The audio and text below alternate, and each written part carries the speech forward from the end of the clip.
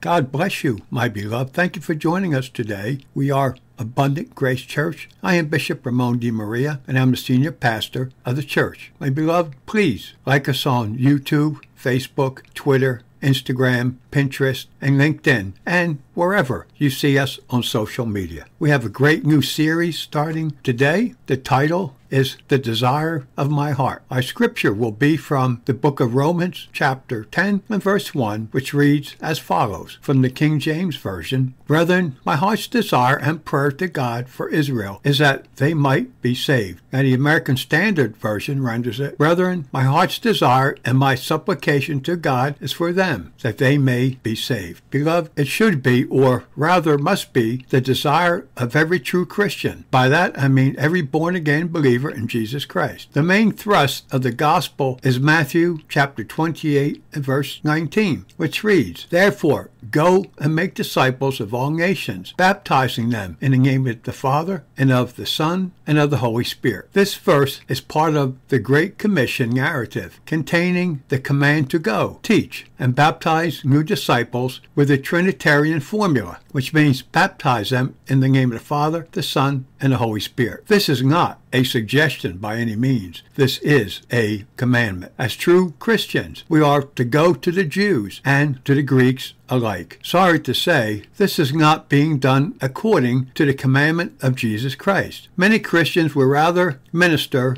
to other Christians than to the lost or to the Gentiles rather than the Jews. But beloved, my desire is to take the gospel to every creature, regardless of race, color, or creed. It should also be your desire. God gave me a desire to go to the Spanish speaking nations, and I went, and God did marvelous things through our ministry. So let me ask you, what is your heart's desire? Be truthful in answering that question. My beloved, in our main verse today, Paul says, Brethren, my heart's desire. This expression seems intended particularly for the Jews, his ancient friends, fellow worshippers, and kinsmen, but who had embraced the Christian faith. It is an expression of tenderness and affection, denoting his deep interest in their welfare. The word desire means benevolence, and the expression my heart's desire means my earnest and sincere wish. Paul speaks of prayer to God. He not only cherished this feeling, but he expressed in a desire to God. He had no desire that his kinsmen should be destroyed, no pleasure in the appalling doctrine which he had been defending. He still wished their welfare and could still pray for them that they might return to God. Ministers have no pleasure in proclaiming the truth that people must be lost, even when they declare the truths of the Bible that some will be lost, when they are constrained by the unbelief and wickedness of people who proclaim it to them. They still can sincerely say that they seek their salvation. It speaks of for Israel, which means the Jewish nation, that they might be saved. This clearly refers to salvation from the sin of unbelief and the consequences of sin in hell. It does not refer to the temporal calamities which were coming upon them, but to preservation from the external anger of God. In 1 Timothy chapter 2, verse 4, the apostle Paul wrote, Who will have all men to be saved and to come to the knowledge of the truth. The reasons why the apostle commences this chapter in this tender manner are the following because he had stated and defended one of the most offensive doctrines that could be preached to a Jew, and he was desirous to show them that it was not from any lack of affection for them, but that he was urged to do it by the pressure of truth. The truth is that Jesus Christ is Savior and Lord. He was regarded by them as an apostate. He had abandoned them when bearing their commission, and while on his way to execute their favorite purposes, and had preached the doctrine which they had sent him to destroy. He was aware of the deep and dreadful condemnation that was coming on them. In view of all that, he expressed his tender regard for their welfare and his earnest prayer to God for their salvation. Here are questions that are often asked, my beloved. What will happen to the Jewish people who believe in God but not in Christ? Since they believe in the same God, won't they be saved? Saved? My beloved, if only believing in God and not Jesus would bring salvation, then Paul would not have labored so hard and sacrificed so much to teach the Jews about Christ. Since Jesus Christ is the most complete revelation of God, and we cannot fully know God apart from Christ, and since God appointed Jesus Christ to bring God and man together, we cannot come to God by another path, or another door, or another way. The Jews, like everyone else, can find salvation only through Jesus Christ. John chapter 14 and verse 6 says, Jesus said to him, I am the true and living way. No one comes to the Father but by me. That is from the Bible in basic English. Acts chapter 4 and verse 12 says, And in no other is there salvation, for there is no other name under heaven given among men through which we may have salvation. That is from the Bible in basic English. As Christians, we are to pray for the Jewish people and in a loving manner share the gospel with them. Beloved, there is only one way to God, and that is through Jesus Christ. I have a problem with those who advocate Christian universalism, which means that Christian universalism is a school of Christian theology focused around the doctrine of universal reconciliation. The view that all human beings will ultimately be saved and restored to a right relationship with God, which is false. It related to A. A theological doctrine that all human beings will eventually be saved. B. The principles and practices of a liberal Christian denomination found in the 18th century originally to uphold belief in universal salvation and now united with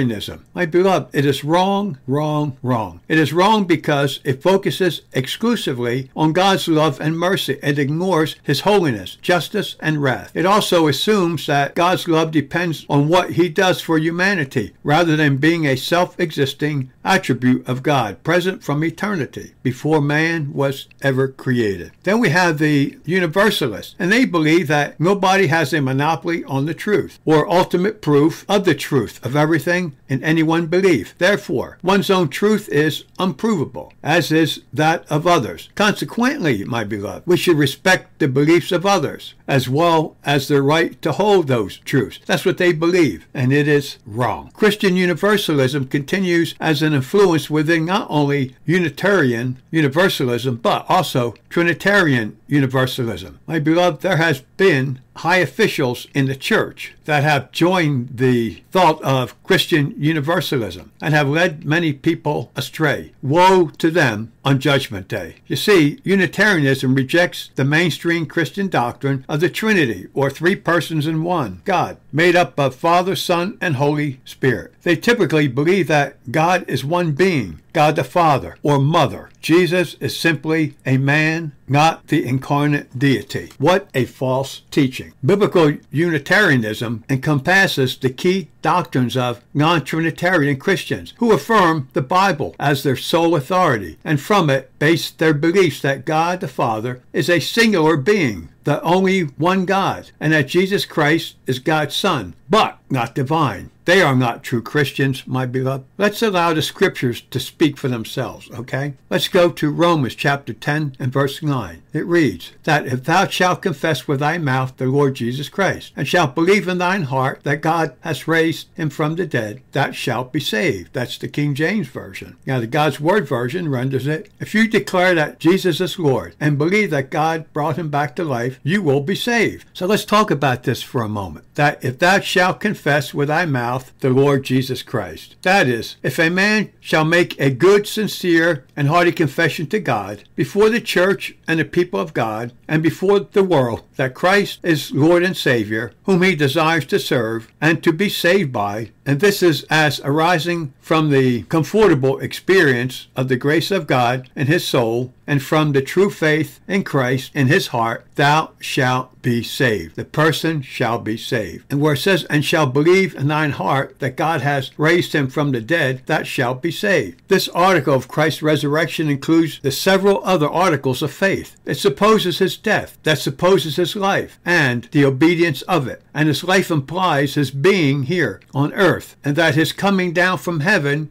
to do the will of the Father. And this is the rather mentioned which is there ascribed to God the Father, though not to the exclusion of the Son and Spirit, because that Christ is risen again for justification, and which true faith is principally concerned, for such a faith is intended, not which lies in a mere assert to the truth of this or any other article of the Christian religion, but which is concerned with Christ for righteousness, life, and glory. And with such a faith, salvation is certainly and inseparably connected. My beloved, without believing in the Trinity, without believing in the Father, the Son, and the Holy Spirit as truth, without believing in the deity of Christ, you cannot have salvation. What do you believe today? Do you believe that Jesus Christ is deity, that he is part of the Holy Trinity, which is the Father, the Son, and the Holy Spirit? Do you believe that Jesus is divine? If you don't, you cannot have salvation. There's no other way to get to heaven but through Jesus Christ. So, my beloved, my heart's desire is the same as the Apostle Paul's desire that not only will Israel be saved, but all mankind will be saved. That is going to conclude part one of the series. Next week, I will start with part two and Romans chapter 10 and verse 10. But before we close today, I want to offer you the opportunity to receive Jesus Christ as your Savior and Lord. If you'd like to do that today, let me lead you in a prayer. Now, you must truly be sorry for your sins. You must truly repent. You must believe that Jesus Christ is truly divine, that he is the Savior of all mankind, and that he was crucified. He died, was buried, and rose from the dead on the third day, that he ascended into heaven, is now sitting at the right hand of God the Father, in a place of all power and all majesty, from where he shall come to judge the dead and the living. If you want to believe this today and repent of your sins, please pray this prayer with me. Father God, in Jesus' name, I heard the message today, the desire of my heart, from Romans chapter 10 and verse 1. Thank you for this message today. Thank you for the preacher today, for revealing truth to me concerning Jesus Christ as being your Son and divine. I believe that he is the only way to heaven, that he is the Savior of all mankind, that he was crucified, died, buried, rose from the dead on the third day, and ascended into heaven, is now sitting at the right hand of God the Father in a place of power and majesty, from where he shall come to judge the dead and the living. I believe this today. I confess this today. And I believe that through my true repentance and my trusting in Jesus Christ as my Savior and Lord, that I have received salvation. And when I leave this life, I will go to heaven to be with Jesus Christ forever. And I thank you for saving me today, Father God. In Jesus' name, I pray. Amen. My beloved, if you truly repented, let me be the first to welcome you into the kingdom of God. Now, what I would like you to do is go to a Bible preaching, teaching church, get an audience with a pastor or one of his staff elders, tell him what happened, ask him to anoint you with oil, to pray with you, to pray for you, and to baptize you in water by full immersion in the name of the Father, the Son, and the Holy Spirit. Ask him to mentor you, teach you, lead you, and guide you in the new-found faith in Jesus Christ. Ask him to give you a Bible if you haven't one. Then what I would like you to do is contact me at abundant.grace at att.net. I would love to hear from you. My beloved, please continue to follow us and please continue to pray for us. For it is our heart's desire to take the gospel not only to the Jews, but also to every pagan on the face of the earth. God bless you, my beloved, and thank you for joining us today. And please continue to follow this most important series. My message title has been, once again, The Desire of My Heart from Romans chapter 10 and verse 1. Today, my love, is December 24th in the year 2023. I want to wish you, your loved ones, your friends, and your family a very Merry Christmas. And remember, Jesus Christ is the reason for the season. God bless you, my beloved, and walk with God.